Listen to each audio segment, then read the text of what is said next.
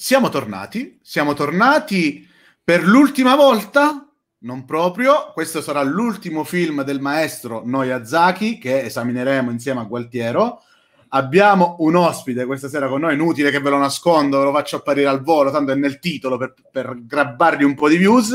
Abbiamo con noi questa sera a parlare della principessa Mononoke per manga e anime sul serio, Domenico Caverna di Platone. Buonasera Caverna. Buonasera a tutti, Buonasera. sono qui in veste di spettro, anche io. Buonasera, Beh. ciao Gualtiero, ciao Delli. Buonasera a tutti. E allora, prima di iniziare, come al solito, la nostra sigla di manga e anime sul serio, che forse Domenico non l'ha mai vista e forse ti piacerà.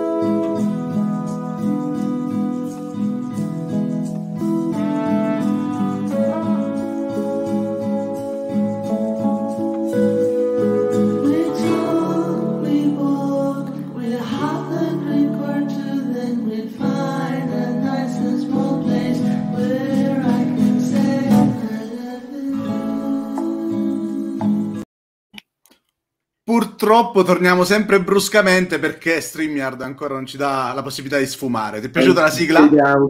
Ero, ero, totalmente rapito, poi all'improvviso troncato. I love you. Beh, ringraziamo come al solito Tirrenian che ci ha fatto questa bellissima sigla e prima o poi, prima o poi lo avremo con noi. Ma come vi dicevo, questa sera si parla in questo quinto episodio di Manga Anime sul Serio anche dell'ultimo film che affronteremo insieme a Gualtiero riguardo la produzione del maestro, ora posso dire Miyazaki e non più Noyazaki. Insomma, eh, in questo percorso ho trovato tante cose interessanti, ma questa sera uh, si parla della principessa Mononoke che ho visto in occasione appunto di questo incontro per la terza volta e posso dire che è un film che non mi è piaciuto. Prima di, di spiegare perché non mi è piaciuto, nei contenuti ci addentreremo piano piano, prima anche di coinvolgere Domenico, dobbiamo partire dalla prima cosa che non ho capito. Perché la principessa Mononoke, che lei non si chiama mm, Mononoke, almeno nella versione italiana, Mononoke si sente soltanto uh, in una canzoncina che ho sentito in sottofondo, nella versione italiana. Perché la canzone è in giapponese. Certo. Però che cosa vuol dire? Che cos'è principessa Mononoke? Io non mi sono informato su nulla, capito? Sono venuto stasera proprio ad addestrarmi. Guarda, dalla battuta che ha fatto prima Domenico Platone dicendo sono anch'io uno spettro, questa sera lo farei spiegare a lui. Ah, ok. Non, non fatemi fare il saputello, almeno una sera. Eh, vabbè, ok, allora giustamente mi devo prendere anche la responsabilità. Poi se sbaglio eh, vengo sempre punito, però Mononoke Ime significa la principessa spettro. Lei è la principessa degli spettri Mononoke che si trovano nella foresta e che infestano la montagna. E questo è il senso del, del titolo. Esattamente così. Cioè, eh, di più... Se... Aspetta, un momento, momento, momento, momento, sì. momento. Perché la domanda poteva sembrare stupida, io l'avevo capito ovviamente, però mi sono chiesto come mm. mai se nell'adattamento che c'è all'interno del film lei viene chiamata principessa spettro, anche il titolo mm. non è stato adattato per eh, farlo capire a tutti. Domanda legittimissima. Okay. La prima cosa che volevo dire, che è importante, è che la parola giapponese mononoke è una parola antica che significa spettro, nel senso di spirito maligno che prende possesso delle persone, gli causa malanni, proprio lo spirito maligno, no? Però è una parola antica. E oggi come oggi nel giapponese corrente la stessa cosa si direbbe in altro modo, soprattutto yure oppure anche solo re. Però Miyazaki ha voluto utilizzare questa parola antica e storica. Non è una parola difficile, anzi, però è una parola un po' anti- arcaica per i giapponesi, tant'è che mh, mm, ci sono state addirittura delle strisce umoristiche sui giornali quotidiani giapponesi, dato che questo film nel 1997 fece un boom pazzesco in Giappone, mm-hmm. e ironizzavano sul fatto che questo titolo nessuno lo capiva. Tipo, Ah. che vuol dire che le persone comuni giapponesi manco capivano il titolo, però tutti lo volevano andare a vedere questo film. E quindi penso che dal Giappone, nel 97 a seguire, quando il film venne venduto in America alla Disney essenzialmente, pensarono che la parola Mononoke fosse molto iconica e in inglese questo film si chiamava Princess Mononoke, Mm, da cui l'origine dei mali. mm. Diciamo che la parola Mononoke è diventata molto iconica, è diventata molto riconoscibile, commercialmente famosa e quindi posso comprendere che anche l'editore dell'ultima edizione distribuita in Italia, Lucky Red, non se la sia sentita di cancellarla persino dal titolo. Ok, ok. Però, già che abbiamo parlato del titolo, dobbiamo subito affrontare l'elefante nella stanza. È il primo adattamento di Gualtiero che trovo veramente, veramente difficile. E, eh, però, però, attenzione, davanti alla difficoltà sembrava quasi un testo teatrale incredibile, bellissimo. Per questo voglio subito fare una domanda a Domenico, la sua impressione di, eh, di questo adattamento, cosa ci restituisce? Sarebbe stato il caso di semplificarlo un pochino, perché la mia difficoltà al terzo ascolto, dove stavolta ero attento, quindi ci facevo caso, le altre volte forse l'ho dato per scontato, vedevo un mondo medievale, Mm. parlavano strano, funzionava. Magari stavolta, dopo le polemiche, dopo che ho parlato con Gualtiero centinaia di volte, mi, mi ha detto, mi ha detto ascolta bene stavolta, quindi io stavo lì così e ci, ci ho fatto maggiormente caso. Grave errore, grave errore. Meglio, meglio non prestare attenzione. allora, eh, eh, questo sarà un discorso lungo che voglio accorciare il più possibile perché Principessa Mononoke è uno dei film eh, dello studio Ghibli che io amo di più, forse quello che amo di più in assoluto, perché l'ho visto moltissime volte, sia la vecchia edizione a Buona Vista che la nuova Lucky Red. Credo di averlo visto in totale un centinaio di volte. E Tantissimo. penso tantissimo, è vero. Infatti, io conosco quasi a memoria le battute, eh, i, i sentimenti, il senso di quello che viene detto. E in realtà trovo la prima edizione di Buena Vista molto semplice, mutuata da, da ciò che aveva fatto eh, Neil Gaiman all'epoca, che si occupò di riscrivere pure un pochettino della sceneggiatura del film per renderlo più adatto al pubblico americano e poi da noi è arrivato eh, un po' pulito da quelli che sono i riferimenti storico-culturali eh, del film, che invece vengono tutti ripresi nell'adattamento nuovo di Gualtiero.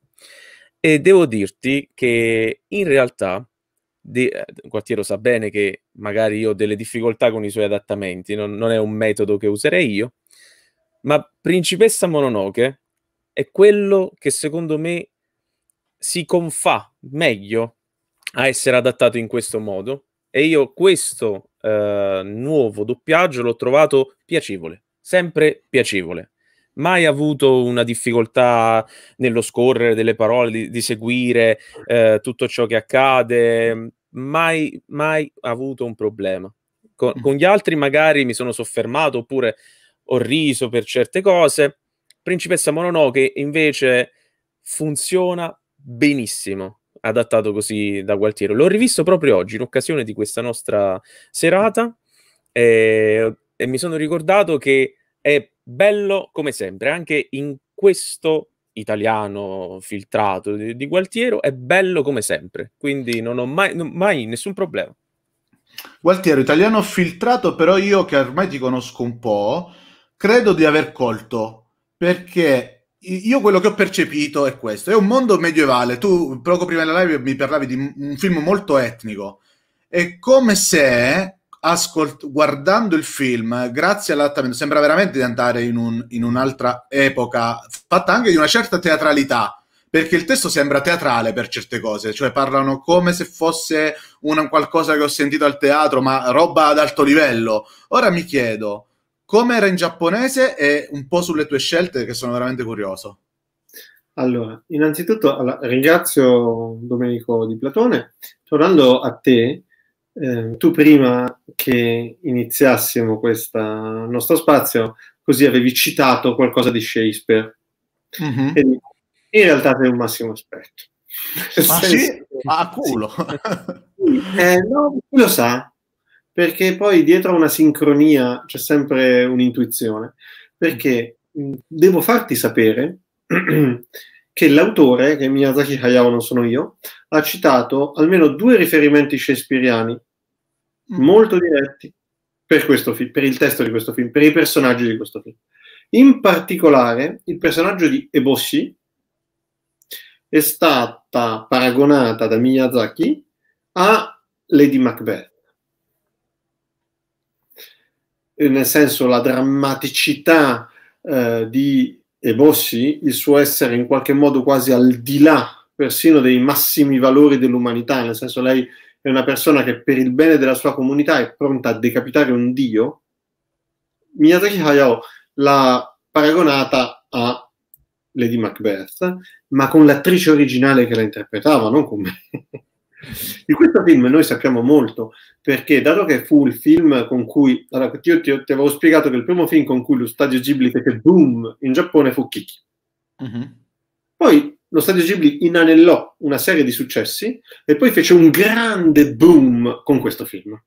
Quindi, ovviamente, come tu sai, quando una cosa fa un grande boom e diventa un fenomeno di costume, tutti vogliono saperne di, chi di più. Certo, certo. Quindi, mai prima di allora si pubblicò così tanto materiale ufficiale collaterale di un film Ghibli.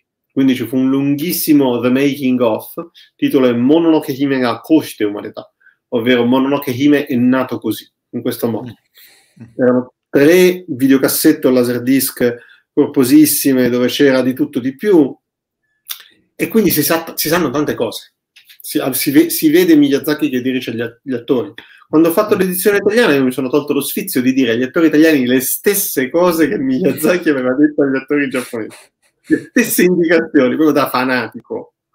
A parte ciò, sì, c'è questa teatralità, hai ragione, ma è solo uno degli ingredienti di un film molto particolare, sicuramente il più, non voglio dire impegnato, ma il più greve, il più pesante dal punto di vista proprio dell'autore, secondo me. Mm. Guarda, questa cosa l'avrei voluta, l'avrei voluta prendere dopo, ma ne approfitto adesso per parlarne col Caverna.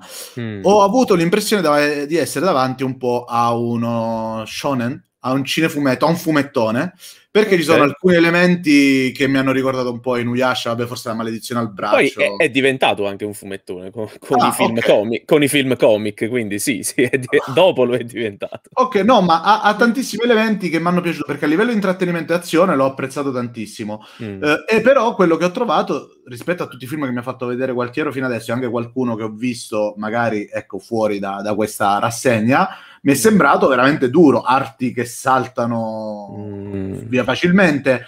Eh, non ho capito, non ho capito mh, mm, questo film come si piazza all'interno della sua filmografia. Mi sembra totalmente diverso da tutto il resto mm. e soprattutto eh, come mai, secondo te, questo, questo, passaggio di tono, non lo so, è, sembra molto diverso dal resto. Tu però hai visto più di me, mm. quindi magari eh, non è così. Beh, eh, pur mantenendo quella che è tutta la cifra stilistica e narrativa di Miyazaki Hayao all'interno di questo film, partendo dall'emancipazione femminile, le donne che sono la spina dorsale di tutto ciò che è il film. Eh, anche Ashtaka, pur essendo un grande eroe, principe degli amici, eh, si rifà a una società matriarcale. La saggia e somma Hi è la donna che decide che lui dovrà morire da solo, dovrà accomiatarsi dagli altri. Moro è la, la, la lupa, il, il, dio cane, eh, che cresce San, è una donna, San, Mononoke, è una donna, e Bosch è una donna, eccetera, eccetera, eccetera. E, ehm, oltre a questo, poi la delicatezza di tutti i passaggi, una certa vivacità anche nell'animazione. Eh, ci sono dei momenti particolari come Ashtaka che prima di prendere una ciotola d'acqua per eh, il soldato che sta portando in spalla, la sciacqua prima e, la sciacqua prima e poi eh, gli dà a bere. Eh, tu, tutto questo che fa sempre parte della ricchezza di eh, Miyazaki Hayao, che fra l'altro ha ritoccato, eh, se non sbaglio, 80.000 disegni, di, di più di 100.000 di quelli che sono stati realizzati per il film, personalmente. Personalmente ritoccati perché questo era l'ultimo film che lui ha diretto anche come animatore eh, intervenendo personalmente. Quindi credo che volesse davvero dare tutto. È un film sicuramente feroce, è, è il film più feroce, proprio cattivo. È un film che parla sostanzialmente di malattie. Eh, Ashtaka è malato, Shitaka è malato e per questo deve andare via. E va nella città del ferro dove trova altri malati, i lebrosi. E, e poi si scopre che la malattia vera è la malattia dell'odio. Lui è quello davvero marchiato da una maledizione, però in realtà sono gli altri ad essere più malati di lui, perché covano dentro di loro quest'odio profondo che non riescono a, e non riescono a pulirsi di questo. Eh, credo che sia questa sostanzialmente la, la ragione, la, la, anche la bellezza eh, di questo film, il fatto che sia così feroce, così violento, eh, voler raccontare la difficoltà di comprendere gli altri. E per farlo c'è bisogno anche forse un po' di carnalità.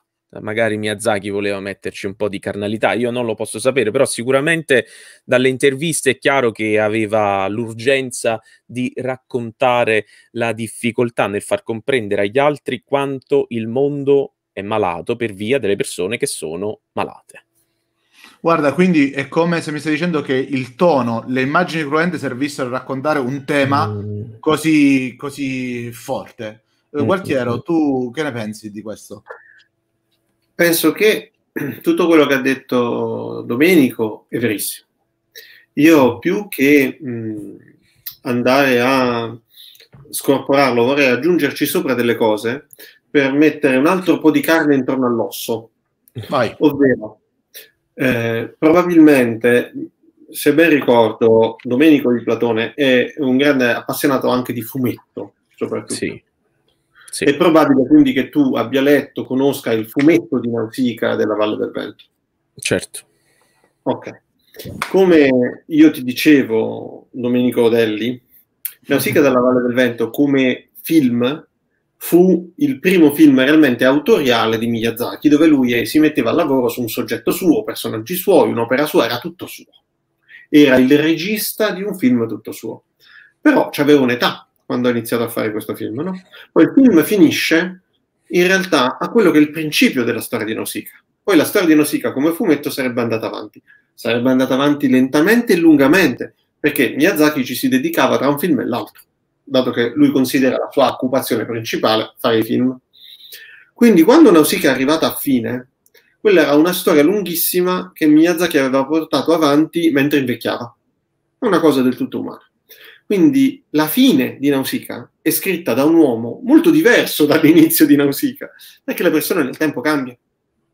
Quindi è ovvio che quando Miyazaki è arrivato alla fine, a parte che si sentiva molto svuotato perché aveva completato una cosa così interiore così pesante per lui, però questa cosa non era completata al cinema, era completata nel fumetto. Mm-hmm. Miyazaki non ti fa un seguito.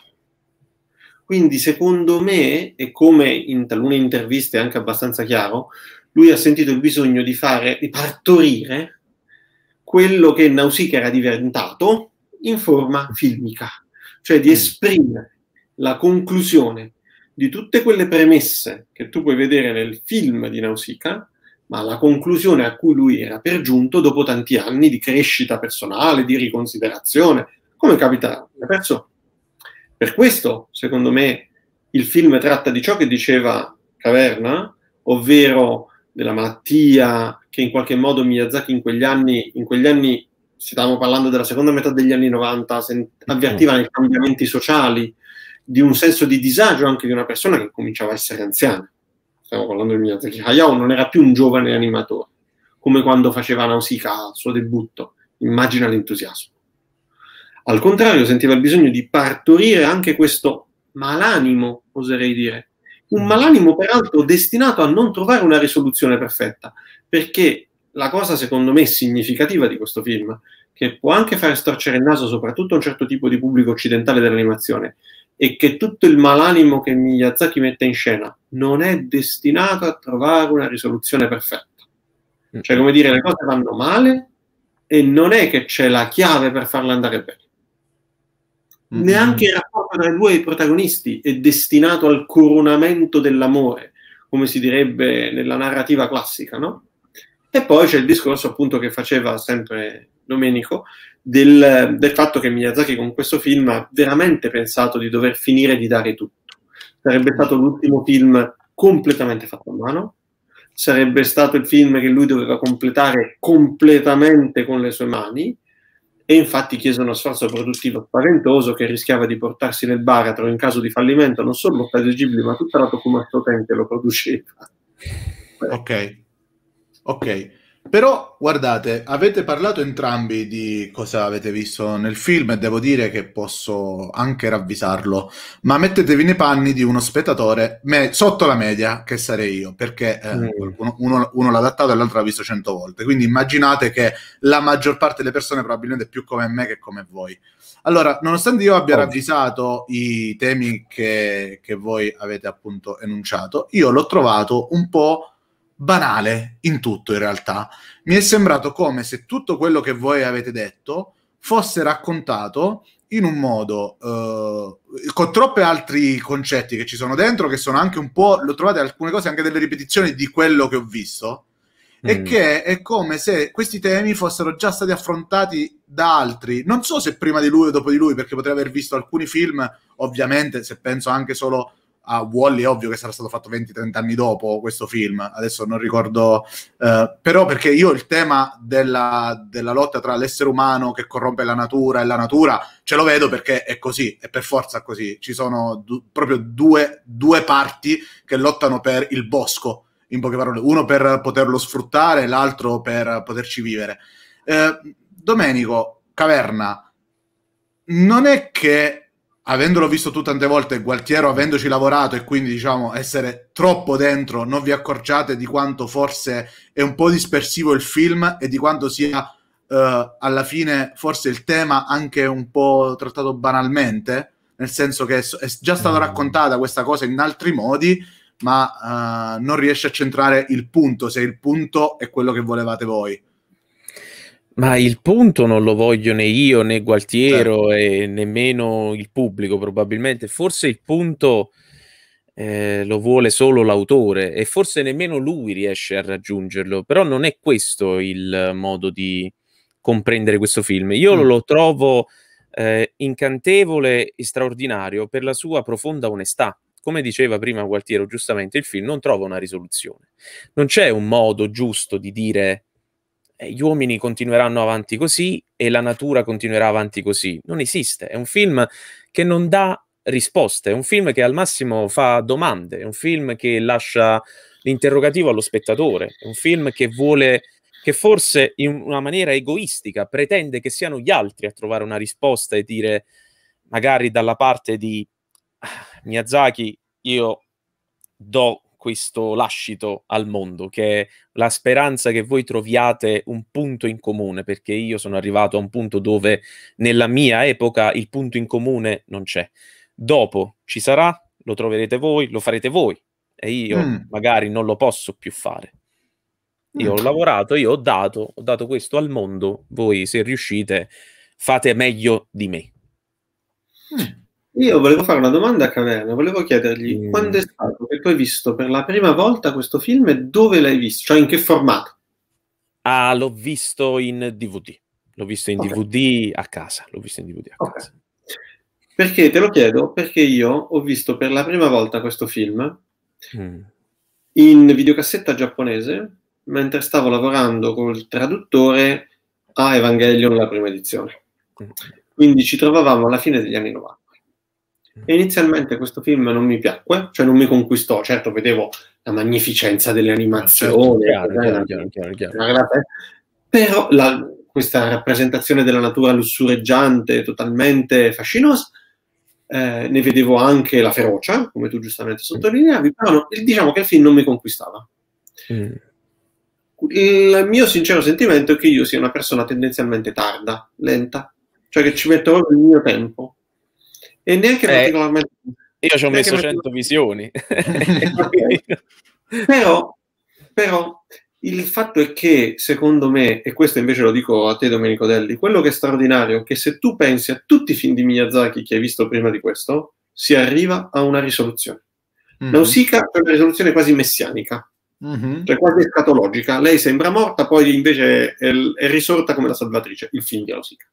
In Lapiuta si arriva a una risoluzione perfetta, ovvero certo. quella perduta civiltà purga i cattivi, fa precipitare Musca, poi si disgrega, i buoni sono tutti salvi e questa, questa minaccia è scomparsa perché è rimasto solo l'albero nel cielo. Totoro non l'hai visto, ma arriva a una perfetta risoluzione perché c'è lo spirito che salva tutti.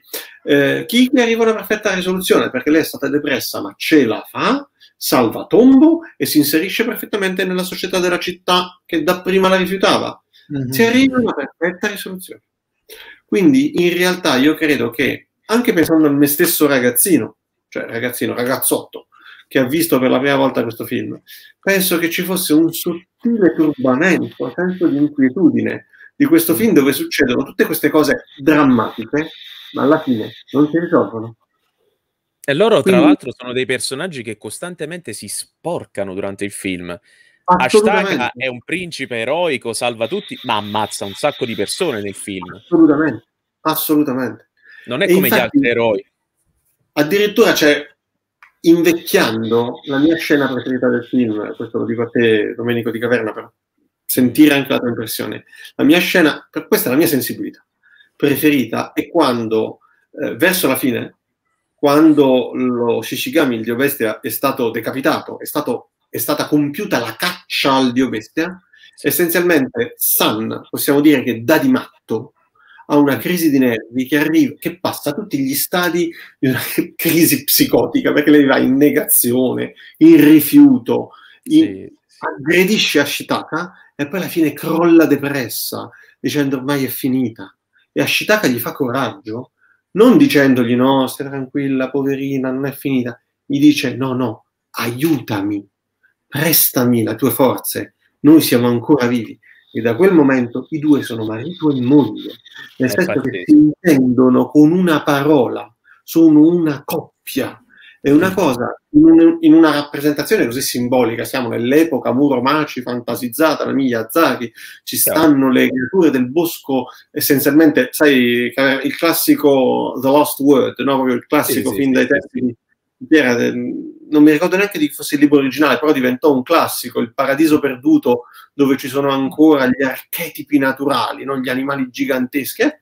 Esatto. E in questa fantasizzazione vediamo un, un ragazzo che è riuscito a capire il trauma tragico veramente di una ragazza, ne ha compreso il cuore, l'ha abbracciata e sono diventati coppia. E nonostante questo, non finiranno insieme.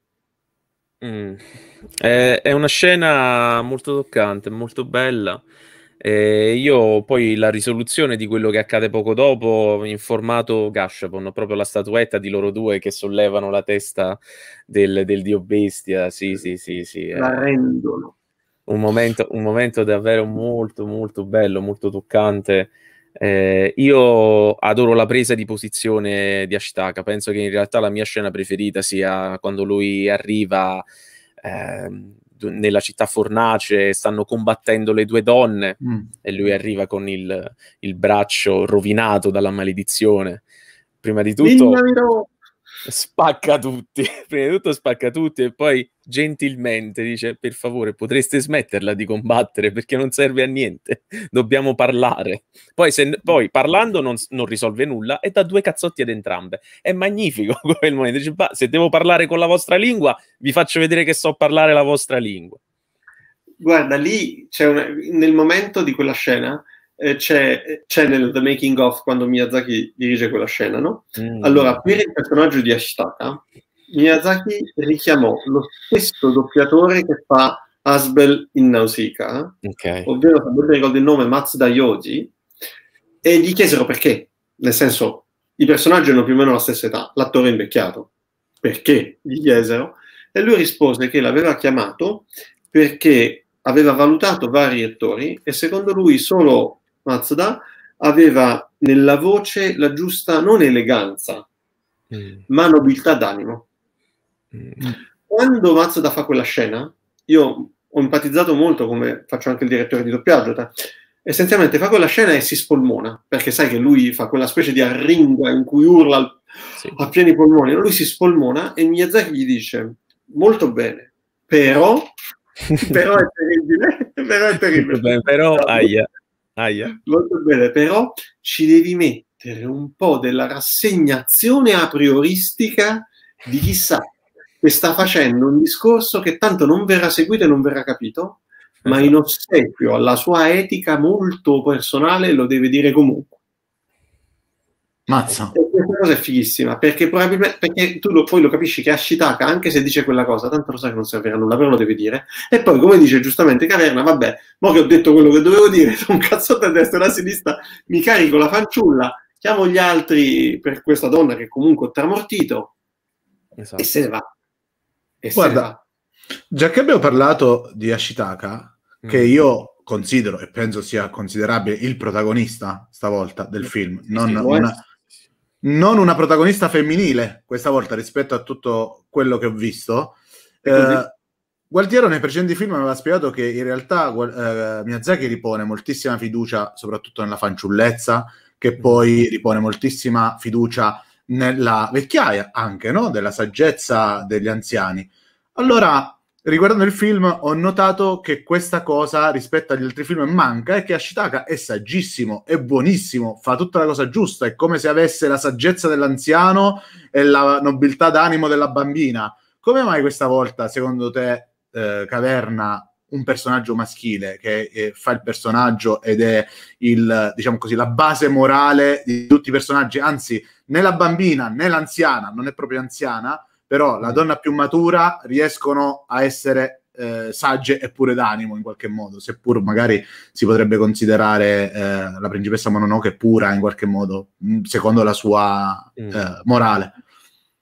Ma eh, guarda, io credo che Ashitaka in realtà sia semplicemente il processo di tutta una società matriarcale, cioè se lui è così è perché eh, intorno ci sono state sempre le donne che lo hanno istruito per bene e non a caso quando poi si confronta con altre donne le cose funzionano bene perché ha i giusti modi, eh, mm. ha il giusto spirito, ha il giusto modo di confrontarsi con loro perché le rispetta prima di tutto, cioè sa come devono, come devono funzionare alcune cose perché rispetta il lavoro delle donne e soprattutto non è, non è così saggio perché poi gli mancano delle cose, lui non conosce effettivamente cosa, cosa, accade nella città fornace. Infatti lui si va a informare. Ecco, per me Ashitaka più che altro è un detective.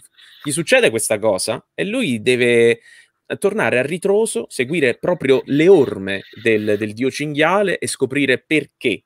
Eh, non tanto perché ha la maledizione, questo lo sa, se la può risolvere, ma soprattutto perché è accaduto questo. È un detective eh, dell'epoca Jomon, va lì e si informa, scopre tutto, domanda alle donne, voi che mestiere fate? Questo, io lo voglio fare anch'io, voglio capire. Non è sempre saggio, diciamo che durante il film la sua saggezza aumenta perché comprende ciò che fanno le donne, mm-hmm. ciò che fanno gli altri, li comprende sempre e questa è la sua grande caratteristica. Gualtiero?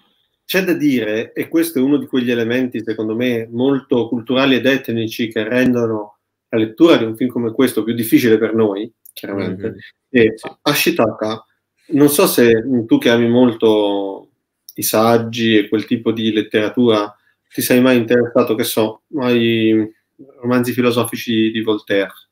Ashitaka in questo film, non che c'entri qualcosa, non che stia dicendo che Miyazaki mm-hmm. abbia fatto questo, ma Ashitaka di fatto, siccome l'esponente di una perduta civiltà dei primordi, se parliamo di storia giapponese, che è la civiltà Emishi, che in realtà nell'epoca in cui Miyazaki ha collocato il villaggio di Ashitaka già non esisteva più. Però Miyazaki, che fantasizza tutto, ha detto facciamo che esisteva ancora un villaggio super nascosto. Vabbè. Però questa civiltà, che era per la storia giapponese quasi una civiltà preistorica, non mhm. conosceva mm-hmm. la coltivazione. Erano cacciatori e raccoglitori, non conoscevano il denaro, infatti Ashitaka paga con la pepitina d'oro, Mm. Quindi in qualche modo Ashitaka è il buon selvaggio degli antichi tempi, degli antiqui mores, che si mette in viaggio nella modernità per andare, come diceva Caverna, a scoprirla con totale onestà, a capire le ragioni di tutti, a capire quali sono le ragioni di due fazioni che stanno avendo un conflitto a cui lui non appartiene né all'una né all'altra, perché lui è esponente di un primordio che non esiste più. Mm. Mm-hmm. Quindi quando Ashitaka va a capire come campano le donne della fucina, lo vuole capire, ne vuole fare esperienza. Ma la cosa è bellissima perché quando lui es- esprime con tutto il suo candore, la sua ovviamente purezza d'animo e anche un candore che agli occhi in qualche modo già sporchi della vita di Eboshi può sembrare persino un'ingenuità quasi infantile. Quando Eboshi gli dice sì, ma tu che sei venuto a fare qua? E lui gli risponde parola per parola ripetendogli la, mass- la missione che gli ha dato l'anziano sciamano, ovvero sono venuto per discernere con pupille non offuscate e così decidere e Bosch gli scoppia in faccia, a ridere. Gli scoppia a ridere in faccia. bravo, bravo, allora vieni, che mo te lo faccio vedere cosa devi capire. E gli fa vedere il brosi. È molto interessante vedere come anche una visione pura, intonsa, ancora non sporcata, abbiamo perso Domenico per un attimo e ti eri bloccato da lì, come la visione pura, ancora mm-hmm. non sporcata dalle brutture della vita, si potrebbe dire, di Ashitaka, in qualche modo viene lanciata in un'epoca di conflitto di cui lui in teoria ancora non sa niente, viveva nel suo eremo. Chiaro. Guarda, uh, mi avete convinto su, questa, su, questo punto, questo approfondimento del personaggio, adesso mi è un po' più chiaro. C'è un personaggio che però, mh, al contrario, mi è totalmente oscuro, non l'ho capito. Il monaco che uh, inizialmente entra in contatto con Ashitaka, che lo aiuta, e poi in un secondo momento scopriamo essere inviato, se ho capito bene, dall'imperatore per prendere la testa del dio bestia. E poi parleremo un attimo del il dio bestia dio bestia che uh, fa sorridere. E io non ci trovo de- decontestualizzato fa co- sorridere dentro il film mi sembra la cosa più naturale del mondo ma di questo ne parleremo tra poco. Mm. mi dovete spiegare un po' meglio la figura del, perché non ho capito perché in un primo momento lui aiuti Ashitaka lo indirizzi in una parte come se potesse essere, non lo so, un punto debole dentro la fortezza. Non mi è chiaro. Mm. Domenico. Beh, lui è un'eminenza grigia, fa il finto tonto, vuole ingraziarsi Ashtaka, in realtà eh, è, è, un doppio giochista. Eh, gli, serve, gli, serve, qualcuno che riesca a forzare tutto. E mm. Ashtaka è, è quello, è, è lo scimmiotto forte che viene dalla montagna, poi for- si ritrova con una forza erculea grazie uh, alla maledizione, quindi potrebbe forzare le cose e riuscire, uh, plagiandolo, magari a ottenere la testa del dio bestia, cosa che poi accade mm. effettivamente, solo che poi si vengono disattese tutte quelle, quelle premesse sue e ci perde. Poi chiaramente la figura eh, storica, sicuramente Gualtiero l'ha approfondita molto più di me, molto meglio e si dilungherà sicuramente meglio di me. Io lo vedo come un simpatico vecchietto che sta lì a osservare tutto. C'è sempre questa figura del vecchietto che sta lì a osservare e cercare di spingere per trarne un certo, un certo vantaggio. Oh. È una figura ah, quasi, ne- quasi completamente negativa, ma però lo trovo sempre simpatico. E, negativo e simpatico. Infatti, tu sai, sicuramente avrai notato, Caverna, che, e lo dico anche a te, Domenico Delli, c'è una geometria quasi perfetta, quasi perfetta, mm. tra i mm. personaggi di Nausicaa e i personaggi di Mononoke. Parlo dei due mm. film. Una geometria quasi perfetta. Eh, il, l'equivalente di, del Bonzo Chico è Krotoa, il consigliere di Kusano. Mm. Eh, nelle, parole di, nelle, parole di, Miyazaki, spesso, e qui torna il discorso shakespeariano, lui diceva che spesso nella, nella commedia, nella drammaturgia, ci sono questi personaggi di persone che sembrano viscide, si comportano in maniera anche viscida e sembrano pensare solo alla loro pancia essenzialmente, però poi alla fine sono semplicemente, utilizzo le parole di Miyazaki, dei vivi nel mondo dei vivi. Mm. Cioè quelli che devono in qualche modo tirare a campare. E per fare questo, siccome in genere sono astuti e scaltri, gestiscono, si muovono in tutte le situazioni in cui si trovano, capitano. In realtà, secondo me, io, a me il, il buon Gicopo, io lo chiamo buon, mi ha sempre fatto pensare, forse lui non è così intelligente, ma ha un don abbondio più furbo. È come dire, vabbè, non, eh, sì. dentro, no? non pestiamogli i piedi, ma d'altro canto sti due ragazzi sono due bravi ragazzi, e mo come facciamo? Se esatto. cerchiamo di dare colpo a cerchio, uno alla botte e uno pure per terra, cioè che ci siamo, che non si sa mai. In realtà è un personaggio, se vogliamo, molto realistico, perché è il personaggio meno ideale, cioè in questo grande conflitto che si agita, in questo grande scacchiere, lui è il personaggio che è un, un poco mezzo e mezzo, nel senso è molto realistico. Eh, scusate una cosa, uh, cioè, ci sono altri personaggi non umani che pure non mi sono chiarissimi. I gorilla. Cioè, quando io vedo scimmie, sì, sì, sì. delle scimmie, delle scimmie, quando vedo l'intervento, uh, il primo intervento che fanno le scimmie, stanno parlando con, uh, con i, le divinità cane, uh, loro dicono faccelo mangiare perché così noi prenderemo l'essenza dell'umano e il cane dice ma non è vero, sarete solo corrotti dal, dal mangiare un essere umano. In realtà loro dicevano che volevano uccidere tutti gli esseri umani, però in quel momento loro li fermano io non ho capito il motivo per cui li fermano quando poi ci sarà una battaglia eh, quasi suicida eh, da, da samurai gli esseri umani con gli archibugi. Perché fanno quell'intervento? Perché qual è il loro senso nella storia? Io ho solo una mia idea personale perché non ho mai trovato fonti, eh, diciamo, di interpretazione autentica su questo merito. Quindi vorrei sentire prima l'impressione di Domenico. Guarda, eh, le scimmie inevitabilmente sono sempre legate agli uomini. Inevitabilmente eh, c'è qualcosa che ci collega a loro, ma non, non meno di quanto siamo collegati, che so, ai topolini o ai maiali, diciamo, geneticamente da quel punto di vista siamo quasi tutti uguali. Però la scimmia, molto simile all'uomo, è inevitabile che ci sia sempre un punto di contatto, un collegamento credo che, vabbè, in quel momento c'è anche la necessità di far vedere mh, una pluralità delle divinità che ci sono intorno alla montagna, non ci sono soltanto quelle creature. E, e le scimmie naturalmente hanno un comportamento ancora più umano, cioè loro non è che mangiano una preda, cioè arrivano lì a cannibalizzare, dicono fammi, fammi vedere se io sono capace di diventare come, come loro mangiando, il meglio di loro, meglio di loro mangiandoli. È un comportamento molto, molto tribale, molto eh, schifoso, chiaramente. E, e San gli ricorda che no, se lo fate, magari venite, anche lei non lo sa, però dice magari venite corrotti eh, dalla, mm. dall'avidità degli uomini. Se, se, li mangiate, forse non assorbite il potere, ma visto che la caratteristica più evidente in questo momento è l'avidità e la corruzione, la cattiveria, magari diventate cattivi. Quindi potrebbe essere il film a un certo punto sarebbe potuto diventare il pianeta delle scimmie. no, battuto. Why not? Io penso che essenzialmente sia come dice, non onestamente non ci avevo mai pensato. Mm. Sta, in realtà ho fatto rispondere, ho chiesto a Caverna di rispondere per lui, così intanto pensavo e facevo bravo, la figura. Bravo, un'ottima eh, strategia, bravo. Eh, sì, sì.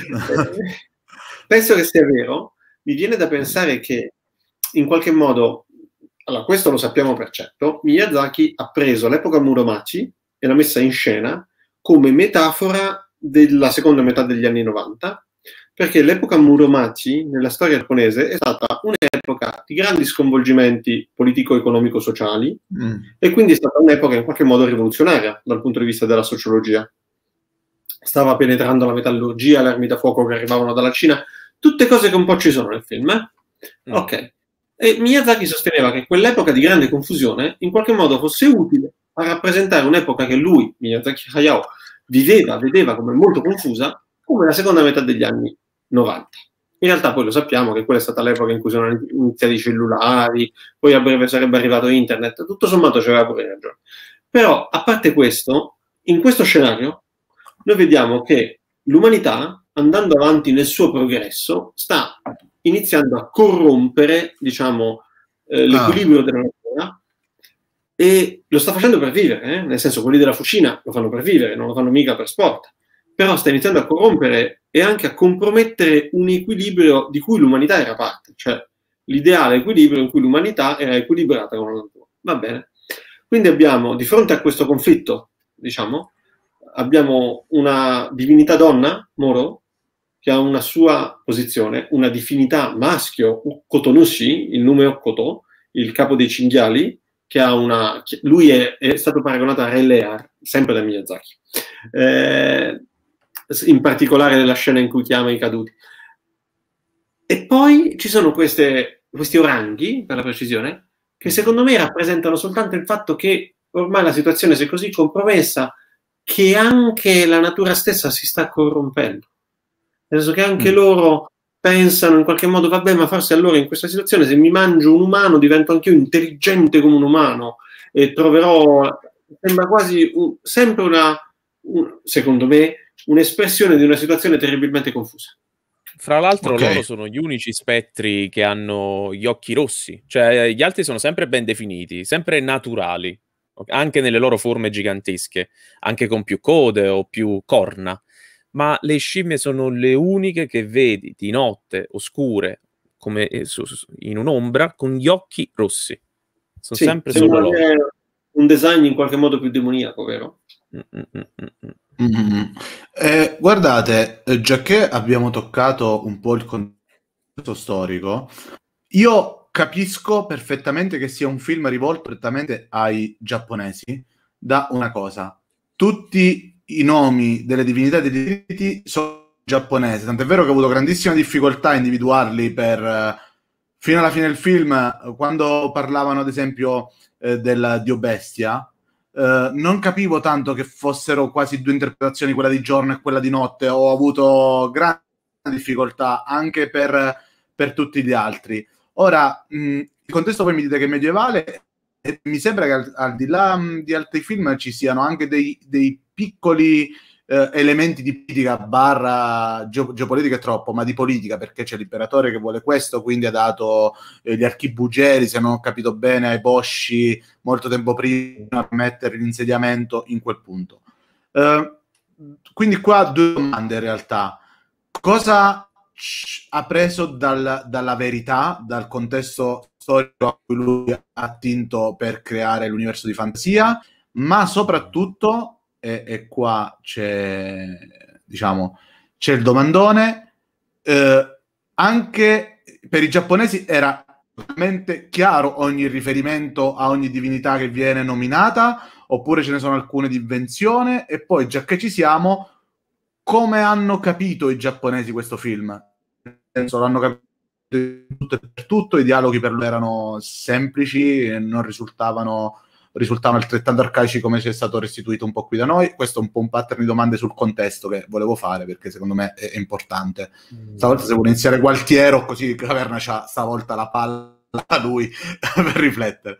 Anche perché non sono un esperto di storia giapponese, quindi in ogni caso non, non lo so se Gualtiero lo è, però sicuramente l'avrà studiato più di me, anche solo per il contesto. Allora, diciamo che Miyazaki Hayao è una persona di cultura, ma al tempo stesso è un amante del fantastico. Conseguentemente mischia queste due cose. Miyazaki Hayao non è un saggista, è una persona che basa, fonda, radica il suo, secondo me, straordinario potere immaginifico su qualcosa. In questo caso, quel qualcosa era anche una verità storica, però lui ci ha comunque radicato la sua fantasia in maniera completamente, come posso dire, smisurata, senza porsi alcun limite. Quindi ha talvolta preso quel particolare termine pure un poco dialettale per dei Darabozzi, eh, il nome con cui viene chiamata la forma notturna del dio bestia, Mhm, è mhm. anche una versione dialettale di una divinità delle leggende giapponesi. E lui ha preso proprio quella versione dialettale, a me gli piaceva quella. Altre cose se le ha inventate completamente, altre cose le ha ricontestualizzate completamente. Tutto a comodo suo, perché lui è questo tipo d'autore, nel senso non si pone alcun freno. Per esempio, il fatto che lui abbia collegato, collocato, scusami, come ti dicevo, un villaggio Emishi in un'epoca in cui gli Emishi erano già estinti, è una cosa che ha fatto lui. Poi qualcuno ritiene che la stirpe, l'etnia Emishi sia confluita in quell'Aino. Lui invece ritiene di no, perché aveva letto uno studio che diceva che tutto sommato no, erano due etnie diverse e lui aveva sposato quello studio. Però questo capita secondo me sovente a un certo tipo di registi che magari si interessano anche superficialmente per qualcosa, approfondiscono un po', poi ci creano un film basato sulla loro fantasia. Come Sergio Leone, l'esplosione del ponte è un evento realmente accaduto durante la guerra civile, ma lui l'ha collocato dove voleva poi alla fine. Quindi immagino Sì, possa essere. Io ho parlato con Marco Bellocchio per un suo film storico lui mi disse io di questa faccenda non ne sapevo niente, poi ho visto uno, uno speciale della- sulla Rai, non mi ricordo se di Quark, mi è interessato, mi sono documentato un po', io sono un regista, ci ho voluto fare un film. Eh, l'arte, l'arte, sta proprio in questo, no? Cioè, sta certo. nel saper uh, miscelare tutto quello che, che, ci piace. Io, da spettatore eh, italiano che lo vede da ragazzino senza conoscere nulla del Giappone, non, cioè senza conoscere nulla, non ta- quei rudimenti di usi e costumi, chiaramente dai manga derivati dall'animazione, però non proprio della società ne- nelle sue radici, questo no, non lo potevo assolutamente sapere. Però da, da ciò che vedevo, anche nella versione Disney filtrata, eh, anzi, diciamo, forse non vorrei usare il termine censurato, però sicuramente trasformato per un pubblico, eh, per pulirlo, per un pubblico generalizzato. Eh sì, gli ingranaggi si rompevano facile là, purtroppo. Eh, però quello che ho percepito è che ciò che raccontava comunque non poteva essere una cosa eh, storica nel senso stretto dello storico. Cioè non sta raccontando un, un mm. periodo vero. Che poi io fossi influenzato dal fatto che ci fossero i mostri, vabbè, è chiaro, non mi, sem- non mi sembra siano mai esistiti in generale. però, cioè, però è questo. È tutto strano perché, per esempio, Miyazaki Hayao, fin da giovane, aveva la fissazione che eh, tutti gli sceneggiati televisivi giapponesi, film giapponesi sui samurai, in giapponese in genere vengono chiamati Jidaigeki, ovvero dramma d'epoca, fossero delle cavolate, secondo lui, perché erano tutte impettite. Eh, hai presente come quando si dice che il western non era il duello, era la gente che si sparava alle spalle? Chiaro. E Miyazaki Hayao, che giapponese, aveva la convinzione che a parte Kurosawa Akira, mm. tutti i film di samurai facessero schifo e lui voleva fare un film di samurai a modo suo, in cui, e questa è la sua idea di realismo, mm. faceva vedere la gente che in campagna scappava e veniva ammazzata a spadate sulla schiena. infatti si vede, quando Ashitaka scende sì. per la prima volta, si vedono tipo un gruppo di, non si capisce se sono samurai, gente con le spade, i contadini che scappano, la gente che combatte non si sa perché, un tutti contro tutti, non è esattamente quella, il duello, show, tatan tatan, quasi con le pose, quasi come un balletto, la coreografia, tutto il contrario. Questo, per esempio, per Miyazaki era un punto di realismo, di realismo storico, scenico, però nella sua visione, ovviamente. Certo, eh, inevitabilmente, chiaro. come dicevi tu giustamente, se questi personaggi si rifanno, per detta di Miyazaki Hayao, a, a ciò che ha fatto Shakespeare, è, è, sicuramente vero che c'è un punto di contatto perché Kurosawa ha fatto Trono di Sangue che si rifà a Shakespeare, I, i suoi film si rifacevano anche un po' alla teatralità di Shakespeare con quel crudo realismo di cui parlavi, quindi magari potrebbe esserci stata un percorso a ritroso forse l'ha capito subito, questo non lo possiamo sapere, però se se l'è studiato c'è, è inevitabile perché si sa che Trono di Sangue è ispirato a Shakespeare. Di, sì, la, scena di, la, scena di, Okkotonushi, ormai morente, che eh, cerca di raggiungere il, diciamo, la sede, il, quel laghetto che è la sede dello Shishigami, del dio bestia, e ormai viene accompagnata da San come un'ancella, lui a ogni passo lascia sangue, ormai già era cieco, adesso è anche accecato del dolore e vede i suoi guerrieri risorgere, in realtà non sono i suoi guerrieri, ma sono i Calcaterra e quindi sono anche cattivi, quella proprio dice Miyazaki che è ispirata a Relea. Cioè lui va a dire all'anziano attore, che tra l'altro era molto molto anziano, l'attore giapponese che ha fatto quel mm. personaggio, Miyazaki, gli si doveva parlare nell'orecchio, perché sennò lui era un po' sordo, con la, con la copertina recitava da seduto e, mi, e gli fa dire ah, che pensi a Re Lear quando ormai è anziano e morente. Guardate, a proposito, de, adesso l'abbiamo nominato di Calcaterra, Dio Bestia, è un nome di una figaggine fuori da ogni grazia divina, l'ho trovato pazzesco, ho capito anche perché, praticamente loro uh, sono costretti a, a, muoversi stando uh, molto a terra per muoversi come cinghiali di base, questo è quello che ho capito. Mm. Calcaterra è il dio bestia. Vorrei parlare di queste due, due cose. Allora, siccome non mi era... Le, le volte che avevo visto uh, la principessa Mononoke non mi ero mai reso conto che ci fosse, ci potesse essere un equivoco. E oh, questa ho ho detto ora devo capire perché qualcuno può aver sentito l'equivoco. E quindi ero pronto a percepirlo in quel modo, perché dopo che uno ti ci mette il, il pallino in testa, uh, esatto, dici ora, ora lo sento e sentirò quello. No, no, no, non è possibile. Chiunque guardi il film e senta Dio Bestia, guardando le immagini, il contesto, ma soprattutto il contesto anche del dialogo, è impossibile, cioè non ci credo che c'è qualcuno che abbia frainteso. Ora, se è accaduto, potrebbero essere quelli che, che chiamo sfogliatori di anime, cioè quelli che proprio lo guardano per dire che l'hanno visto, non per guardarlo per davvero. E ovviamente qualcuno ora risponde, però volevo sapere Domenico se eh, su questo punto che secondo me è, è, è, una di quelle cose che di colore che sono, che sono uscite fuori un po' nel tempo. I, io li chiamo i frammenti che diventano verità. Eh, una bugia ripetuta tante volte finisce per diventare una verità, di solito è così. Uh, io sono cresciuto con quella creatura che si chiamava, vabbè, Shishigami.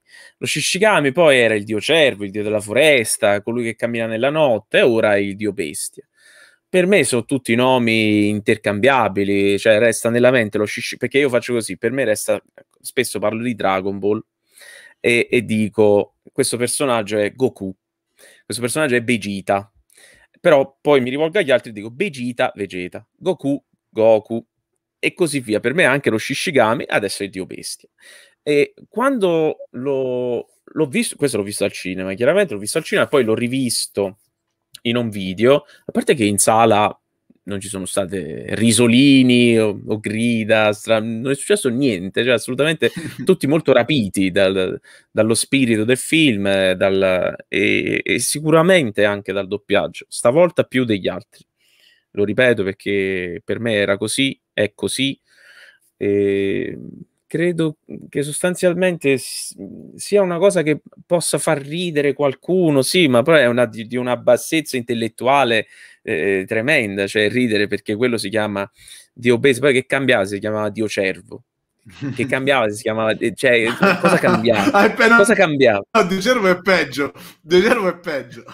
cioè, non lo so, cioè, perché forse sempre naturalmente il nostro paese sempre legato a questi, questi fattori certo. cristiani, è il mio eh, retaggio culturale giudaico-cristiano, quindi figuriamoci, lo so benissimo come deve funzionare, tutti con la catena battesimale a invocare la Madonna anche durante le feste, pure se durante le feste magari ci scappa il morto, però l'importante è che siamo votati alla Madonna, che siamo votati a questo, a quel santo, eccetera, eccetera. Che poi, eh, che poi io ho vissuto, ho vissuto, non so se lo sapete, io ho vissuto un anno in Spagna, la bestemmia non esiste come la intendiamo noi. Mm. Ci sono delle espressioni che noi interpreteremo come bestemmia che adesso se io la dicessi eh, voi vi tappereste le orecchie e piangereste. Solo noi la, la diciamo in quel modo, eh? Solo, poi, poi in privato vi dirò come la dicono in Spagna. E, okay. e, qua immagino i curiosoni nei commenti lo chiederanno e poi magari ve lo metto Vabbè, ma è anche chiaro, ma in, realtà, ma in realtà la bestemmia la dice che è ancora più credente perché è un modo per eh, evidenziare che quella cosa esiste, c'è, ne parlo anche male perché c'è. La bestemmia è del credente più dell'ateo. E tu... In generale, non lo so, non lo so, mi sembra, mi sembra una cretinata. E poi dopo ci hanno calcato la mano, si, si, si ride, ok, fa ridere decontestualizzata, qualsiasi cosa fa sì. ridere decontestualizzata, ah, però. Assolutamente. Cioè, questa cosa del qualsiasi cosa è verissima, tant'è che prima che si parlasse di meme in televisione, nei programmi comici, si parlava di tormentoni sì. e quando una parola, una qualsiasi parola, una qualsiasi espressione, la più banale, viene messa nella testa, nell'idea che debba far ridere, fa ridere perché diventa un tormentone, nel senso anche non ci posso credere, era diventato un eh, tormentone, già. detto con una particolare inflessione e sembrava che quella frase fosse bandita dai dialoghi cine televisivi, perché ah no, beh, fa ridere. Però al di là di questo discorso verissimo, io n- mi permetto di dare a voi due eh, delle spiegazioni un po' più tecniche se posso. Ma ah, certo, assolutamente. Certo, certo, certo. Perché è anche un po' il mio, no? Allora, i calcaterra poi arriviamo anche a Shishigan. Le calcaterre in Giappone si chiamano Jibashiri. E Jibashiri è scritto nella, diciamo, nella scrittura di tipo fonetico, cioè non con i kanji che contengono il significato, con i segni fonetici. È scritto in katakana. Tant'è che quando io stavo lavorando sul film, vado a cercare, dato che ormai c'era già internet, andavo a cercare che voleva dire Jibashiri per decidere se tradurlo oppure no, innanzitutto no. Perché sul dizionario mm. non c'è. Che vuol dire Jibashiri? è scritto in katakana, sul dizionario non c'è, che vuol dire? E le prime cose che ai tempi mi vennero fuori erano delle pagine di eh, Ask con i giapponesi che si chiedevano ma che vuol dire Jibashiri? Quindi ho pensato, boh, forse così la valissiano non è. E la risposta che si davano era esattamente quella che hai dato tu, Domenico. Ovvero, sono quello che sono, sono quello che si vede, si chiamano così. Uh-huh. Poi ho indagato un po' di più. E per Gibashiri mi venne in aiuto, tu pensa, il copione di questo film ufficiale cinese. E sai perché? Perché in cinese hai solo i kanji, non hai i caratteri fonetici. Quindi ho scoperto, dato che i kanji in teoria sono gli stessi, ho scoperto come si scriveva con i kanji questo composto e cosa voleva significare. Allora c'era G che è terra e Bashiri che sarebbe Hashiri, correre. Quindi terra correre. Quindi questi sono una specie di elite di cacciatori, una casta, però anche una casta di appestati perché fanno schifo a tutti, e si chiamano quelli che corrono sulla terra. Allora ho fatto una ricerca sulla logica di costrutto e viene fuori che questo è lo stesso tipo di costrutto che si utilizza per certe razze animali, tipo il roadrunner, corridore della strada. Quindi sarebbero i corridori della terra, nel senso che questi stanno proprio a stretto contatto con la terra. Quindi, dato che questa parola è giapponese in un, in un testo tutto giapponese, e anche se è più o meno incomprensibile, la spiazzate anche i nativi, comunque loro lo sentono che è la loro lingua, cioè qualcosa gli evoca, ho pensato di creare un neologismo che in qualche modo potesse avere un, un potenziale evocativo nella nostra lingua. Bellissimo. Tanto qua. Bellissimo. Da cui calcaterra. Il discorso di Shishigami è ancora un po' più complicato, mm. perché Shishigami è scritto ufficialmente metà in metà. Cioè Shishi è scritto in katakana foneticamente, Gami è scritto col kanji di Kami, Dio, e eh, vabbè, Dio, Dio Shishi. Shishi in katakana. In teoria il primo significato di Shishi sarebbe leone. Non vuol dire cervo. Cervo si dice Shika, non Shishi. Se fosse Dio cervo sarebbe Shikagami. Tra l'altro la parola Shika c'è dentro il film, quindi è anche presente. Guardando il The Making of del film giapponese, si vede che sui primi schizzi, quelli che si chiamano image board, Miyazaki lo scriveva col kanji di cervo ma con la sua lettura arcaica di Shishi. Il kanji di cervo, letto come Shishi e non come Shika, ovvero con la lettura arcaica, non significa cervo, ma indica tutte le bestie da caccia, quali cervi e cinghiali, che abitavano le foreste giapponesi. Ah. Quindi poi Miyazaki si è reso conto che se lo scriveva col kanji tutti quanti avrebbero letto cervo, avrebbero letto Shikagami, allora l'ha scritto con i caratteri mezzo e mezzo, con i caratteri fonetici perché lui è Dio, Gami, non solo cervo, bestia in senso lato. Non è neanche delle bestie, perché non è shi no kami, è proprio shishigami, e che lui è tra l'altro nigorizzato, quindi un'unica parola, e lui è proprio il dio bestia.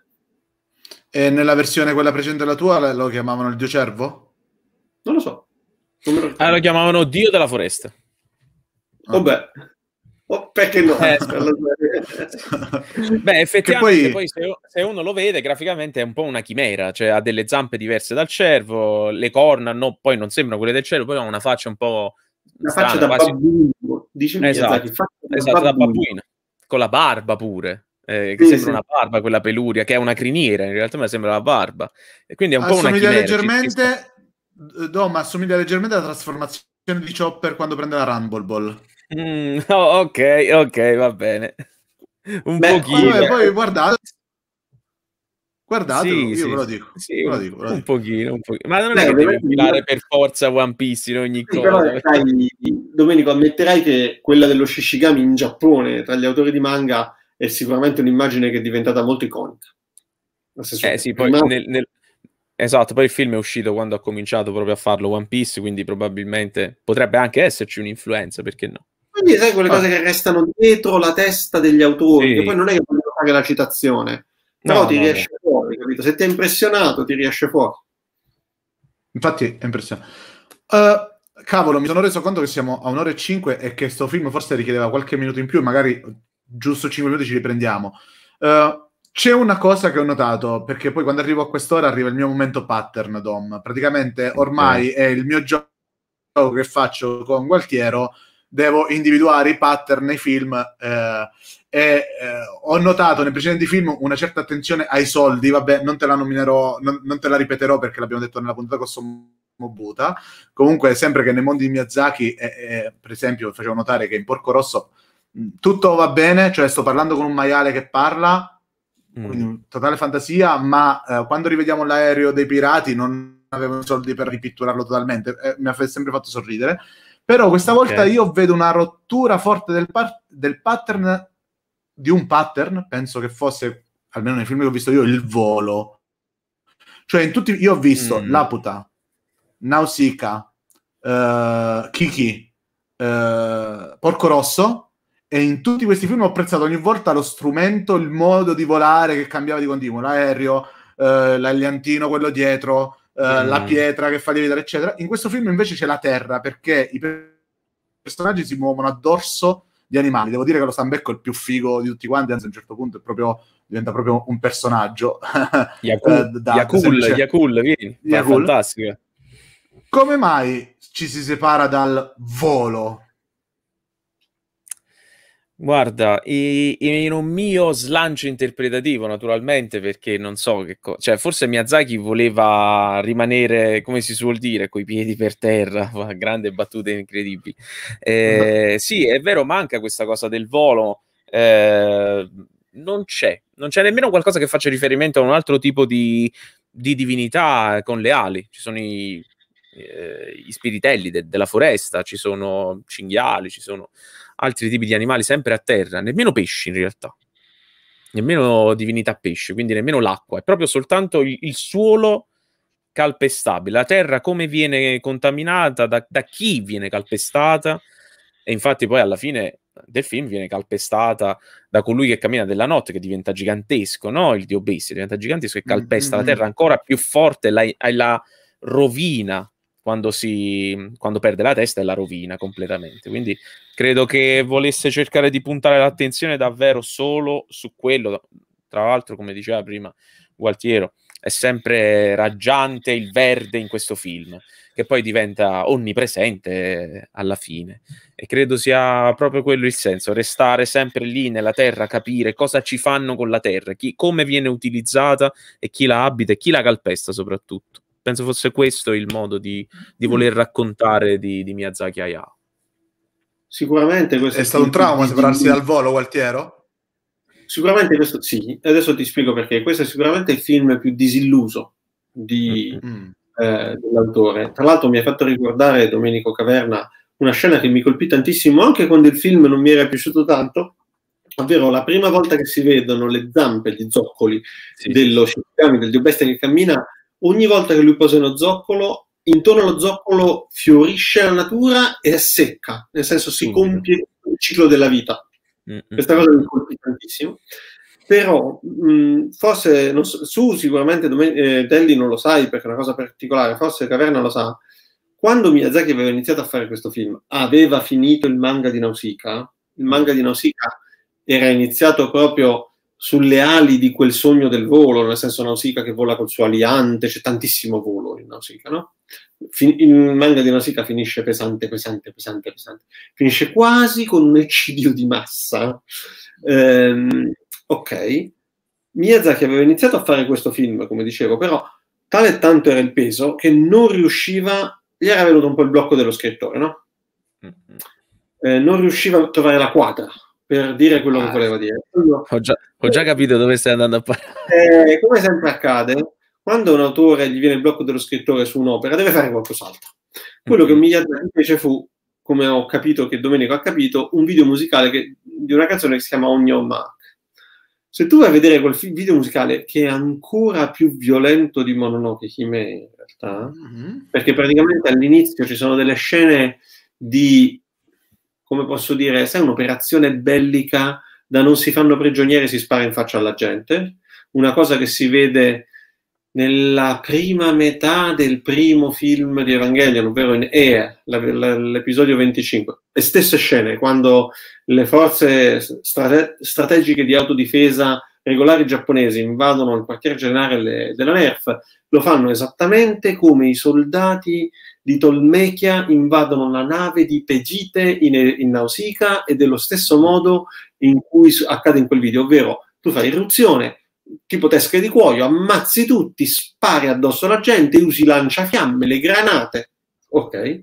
Quindi Miyazaki fa questo video che in realtà in questo video viene trovato un, una ragazza con le ali d'angelo. Miyazaki ci tiene a precisare che non è un angelo, è un Torino Hito, un, una persona uccello, così come veniva chiamata Nausicaa, Torino Hito. E essenzialmente poi questa angioletta, io la chiamo per affezione, eh, è qualcosa da cui i protagonisti si affrancano, cioè la lasciano libera.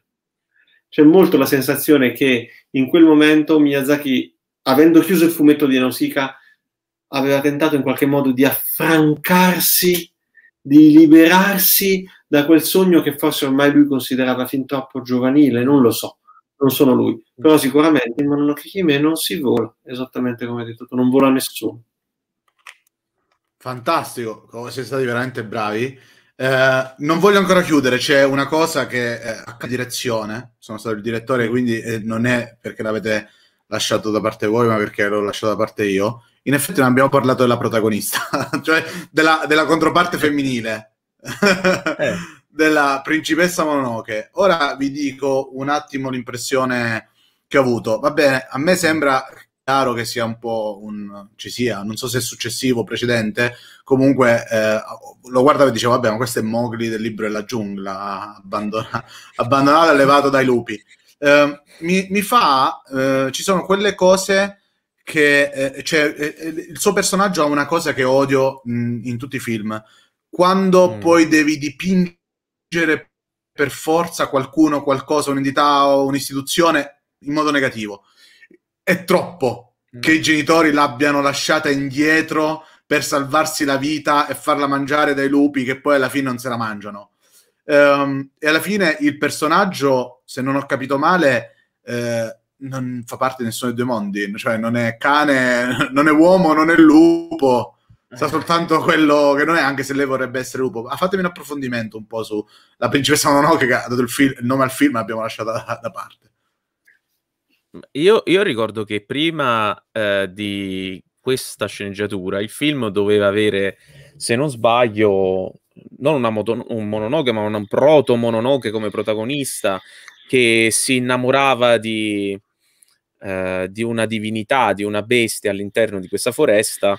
Però poi la produzione si è allungata, si è spostato su Onion Mark, come diceva prima Gualtiero, e nel frattempo l'America ha fatto uscire la Bella e la Bestia, quindi ha detto, mm, mi sa che alcune cose le ho fatte un po' con Totoro, un po' le hanno fatte già gli americani, forse è meglio che cambio, forse è meglio che cambi, racconto un'altra storia. E, e, e, meno male perché poi ci ha regalato una grandissima storia. Lei è un personaggio sostanzialmente a metà e, e credo, e qua faccio una mia critica perché i personaggi femminili di Miyazaki, perché in realtà non è soltanto San la, la protagonista femminile. Secondo me le mm, protagoniste mm, femminili già, sono tutte. Sono tutte quante, sono tutte quante. Poi no, è ovvio che eh, la personalità sia splittata in Eboshi e San, sono le due facce della stessa medaglia.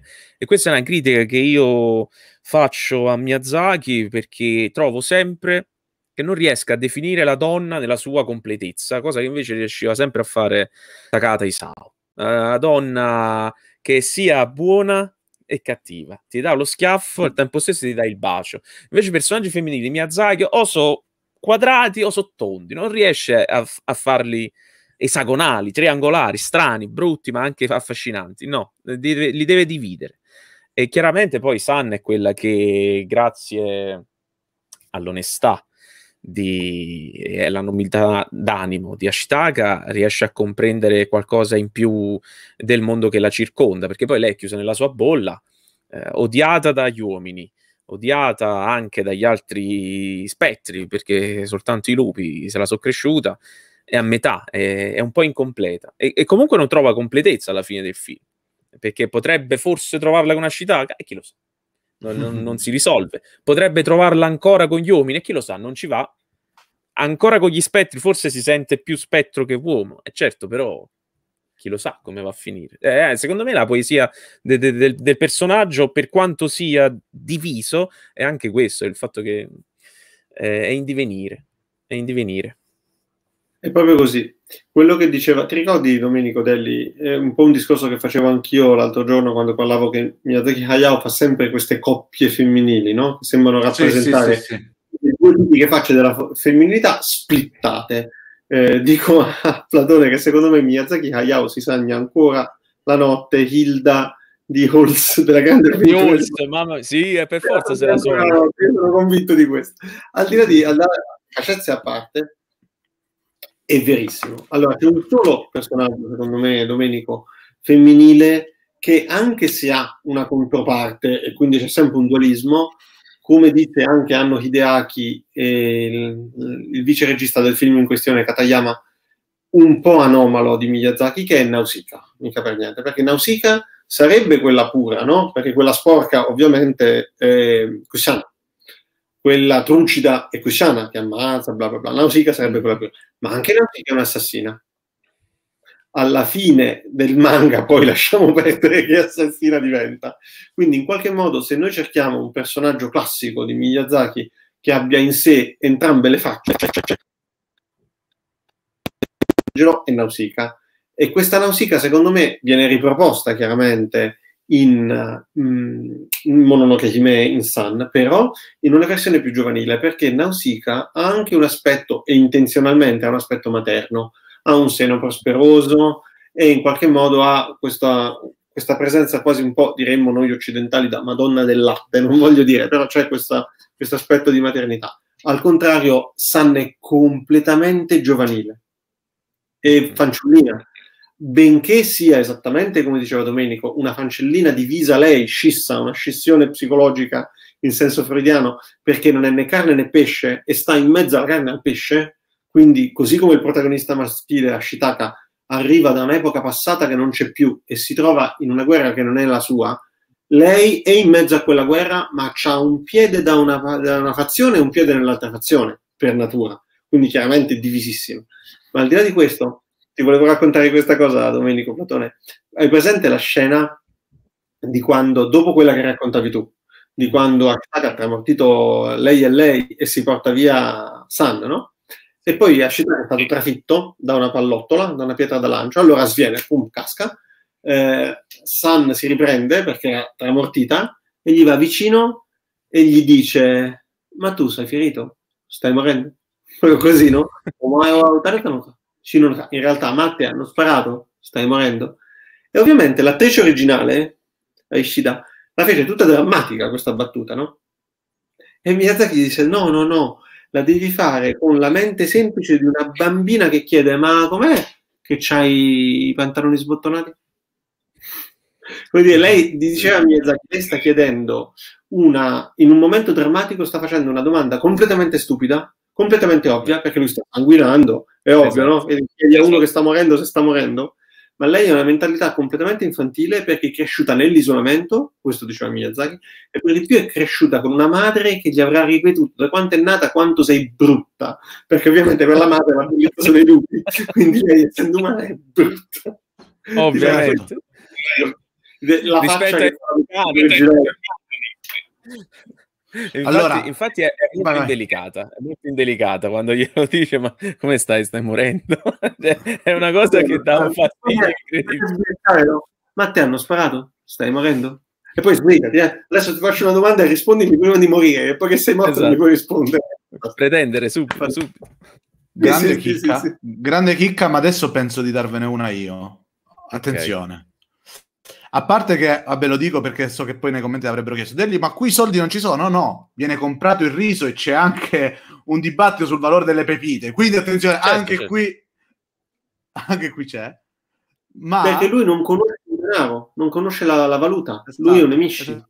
Deve intervenire, deve intervenire il, l'infingardo a spiegare il valore della pepita questo povero monaco.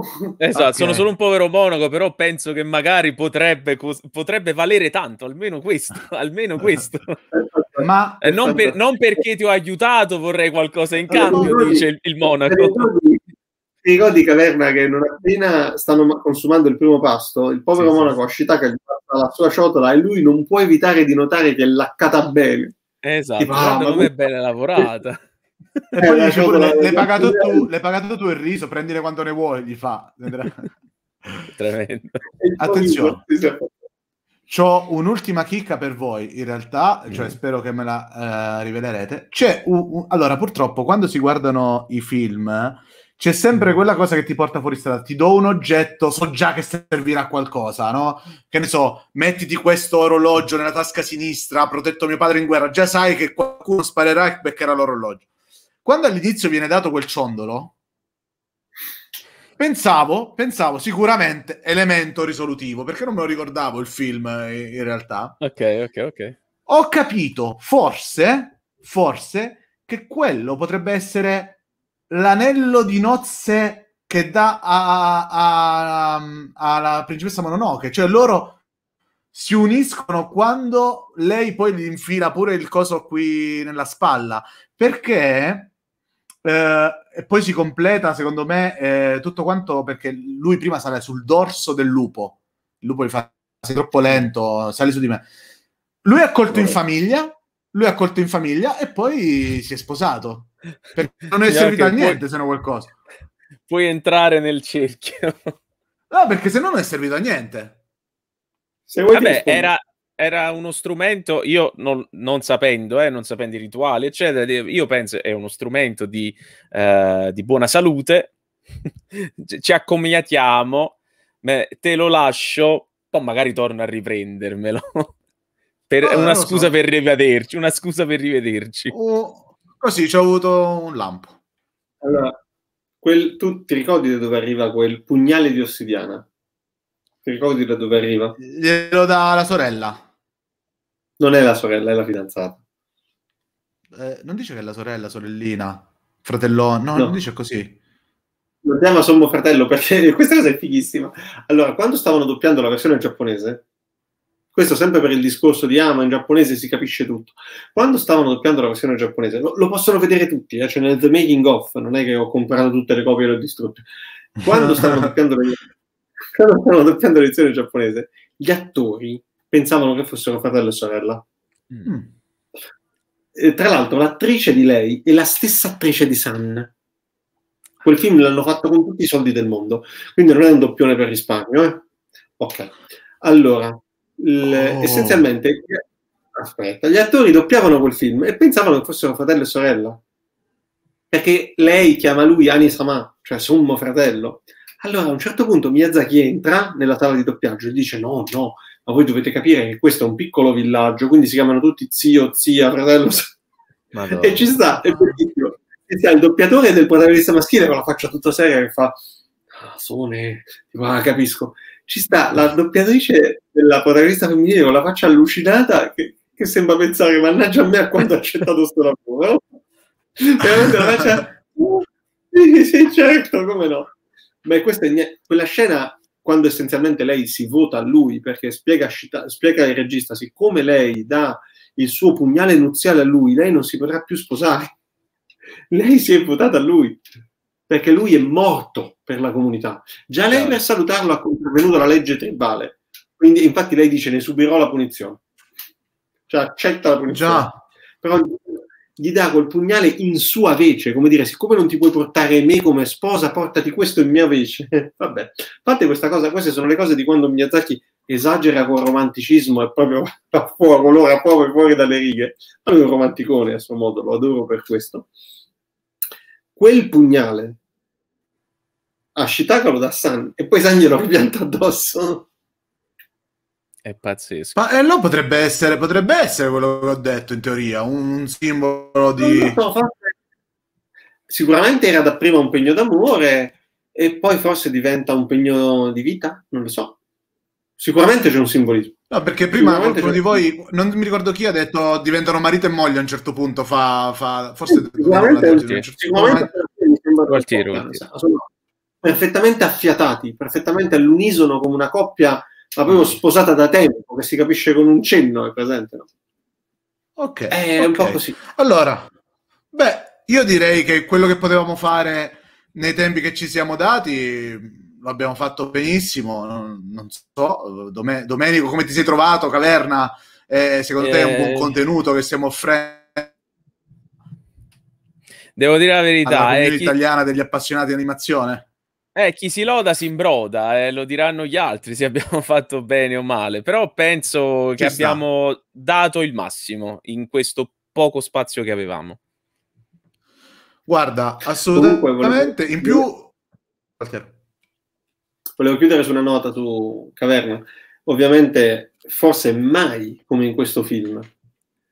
Un po' anche in Porco Rosso, però in una versione un po' più favolistica, così fantasizzata, però mai come in questo film, è verissimo che è, è, forte, forte, forte quel senso che dicevi tu, che il pezzo debole è in realtà la spina dorsale dell'umanità in quello che mette in scena Miyazaki, no?